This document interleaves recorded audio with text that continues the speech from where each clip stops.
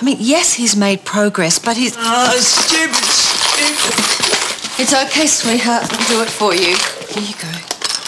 There. Hold them out. Yeah.